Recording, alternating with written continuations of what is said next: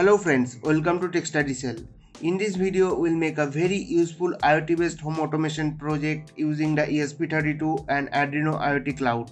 With this IoT project, you can control the appliances with Amazon Alexa app, Arduino dashboard, IR remote and also from the push buttons and you can also monitor the real-time room temperature in the Amazon Alexa app. And if there is no internet still you can control the appliances with push buttons and IR remote. And I have used just ESP32 a relay module DHT11 sensor IR receiver to make this project so you don't need any custom design PCB to make this project. And during the video I will share the circuit code how to set up Arduino IoT Cloud for ESP32 before going to the details let me show you how this project works. Alexa turn on switch 1 Okay, Alexa turn on switch 4 okay, and you can also control it from the Amazon Alexa app now let me control these appliances from the IR remote. You can see I can easily control it. Now let me use the push button to control these appliances. And again I can easily control the appliances with the push button. Now let me turn off the Wi-Fi and show you how this project works without internet after turning off the Wi-Fi, the blue LED turns off which indicate the ESP32 is not connected with the internet. So I can control it only from the IR remote. Let me show you.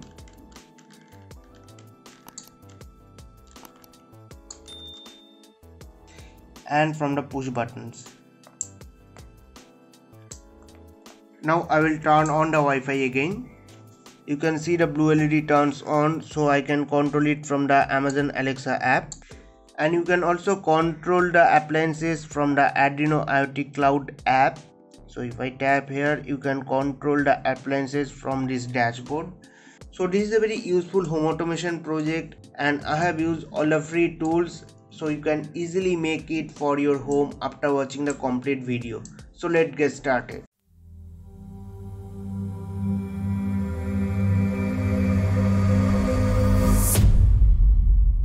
To make this home automation project, you need ESP32, a 4 channel relay module, DHT11 sensor, 1838 IR receiver, push buttons, and a IR remote.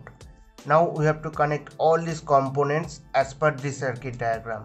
As you can see, there are a lot of connections. So to make the circuit compact, I have designed a PCB for this project but as I said you can also make this project without using any custom design PCB. Still if you want to get this custom design PCB then download the Gerber file from the video description and order it from the JLC PCB. You can order any custom design PCB from JLC PCB with 3 simple steps. First upload the Gerber file then select the parameter like quantity, PCB masking color then place the order.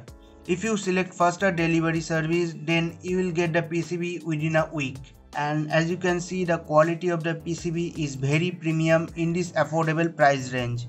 So you can always try JLC PCB for your any custom design PCB project. Now these are the component required for the PCB. Now I will quickly solder all the component on the PCB.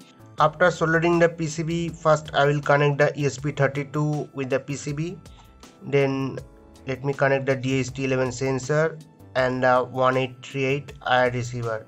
Now let me connect the laptop with the ESP32. Now before uploading the code, we have to set up the Arduino IoT Cloud account. In my previous project, I have already explained how to create one account in Arduino IoT Cloud. So you can refer that video or you can also refer the article in the iotcircuithub.com. I will share the link in the description now as I already have an account in Arduino IoT Cloud so I will just uh, enter the email ID and password and click on sign in. After login you have to click on things then click on create things then you have to select a device. So I will click on here and I will click here set up new device. Then I will click set up a third party device.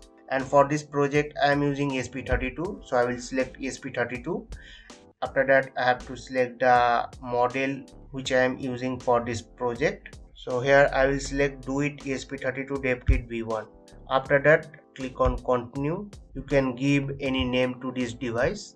Now click on next. Now we will get a device id and a secret key. So first you have to download the device id and secret key. Then i will check this box and click on continue. Then click on done.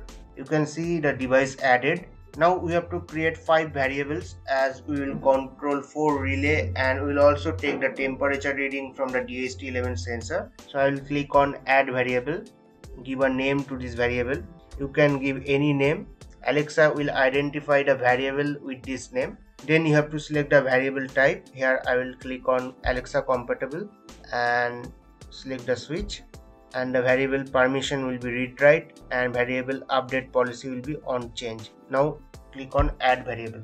You can see our first variable is created. In a similar way i have to create total four alexa compatible switch variable. Now we have to create the variable for the temperature sensor. So here i will give the name temperature and select the variable type as alexa compatible and here i will select temperature sensor and I will select the variable update policy as periodically and here I will select after every 8 second. You can select the value as per your requirement. Now click on add variable. So we have created all the five variables. We can also give a name to these things. Now we have to create the dashboard for this project. So I will click on dashboard and here I will click on build dashboard then you have to click on this edit icon. Then click on add button. After that you can select any widget. I have selected the switch widget. Now we have to give a name to this widget. Let me give switch 1 then you have to link a variable which you have already created. So here i will link this switch 1 variable. Then click on link variable. Switch 1 is linked with this switch widget. Then click on done in a similar way, I have to add total 4 switch widgets to control the 4 relays. After that, we will add a gauge widgets. Let me give the name as temperature. You can give any name. Now we have to link this widget with the temperature variable which we have created and you can also define the minimum and maximum temperature so minimum is 0 and maximum is 100 degrees celsius now click on done so we have added all the widgets you can also rename this dashboard. So our dashboard is created. Let me exit from this edit mode. And this is the sketch we will use for this project. You can download this sketch from our website iotcircuithub.com just visit the article link given in the description. Then you can download the code from this button. Before programming the esp32 you have to download and install the esp32 board. After that we need these two libraries now to install these libraries you have to go to sketch include library then select manage libraries and here search for Arduino IoT Cloud. So here you can see I have already installed these libraries but if you try to install it first time it will ask to install all the dependencies. Then you have to click on install all to install all the dependencies. And you also need these IRremote libraries. After installing all the libraries you have to update these details. For that i will go to the pdf which you have downloaded during creating the device. So if i open the pdf you will get the device id and a secret key. So let me copy the device id and go to the arduino sketch. Here you have to enter the device id so let me paste it here. Again i will go to the pdf so now i will copy the secret key.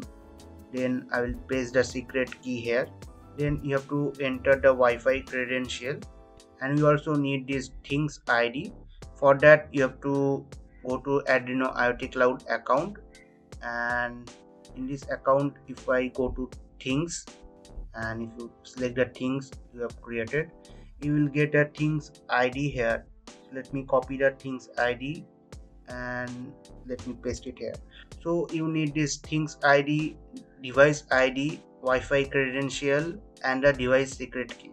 After that you have to update the hex code to control the appliance with IR remote. so here you can see this is the hex code of button 1 this is the hex code of button 2 you have to update this hex code as per the remote you are using to control the appliances in my previous video i have already shown you how to get the hex code from any IR remote so after getting the hex code you have to just update the hex code here. I will share the link of the previous video in the description. Now we can upload this code to esp32 select the port as DOIT esp32 devkit v1 and the proper port. Then hit the upload button.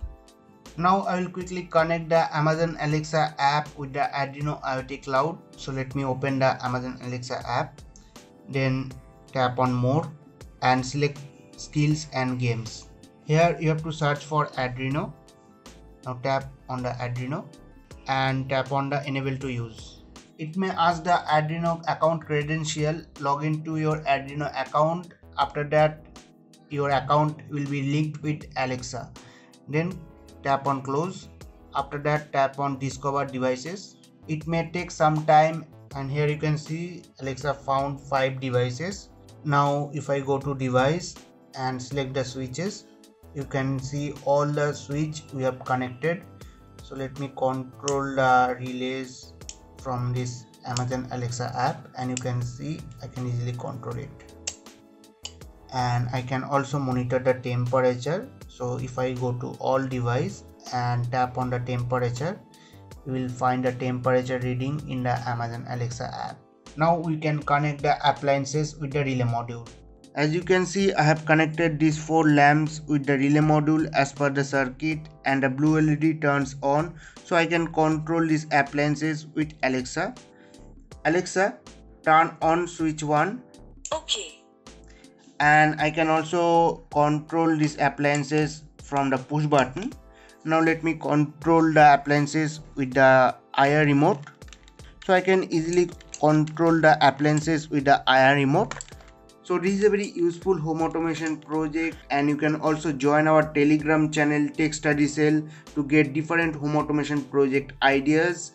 And if you like this project then please hit the like button and share it with your friends. Don't forget to subscribe for more such videos. Thank you for watching. Have a great day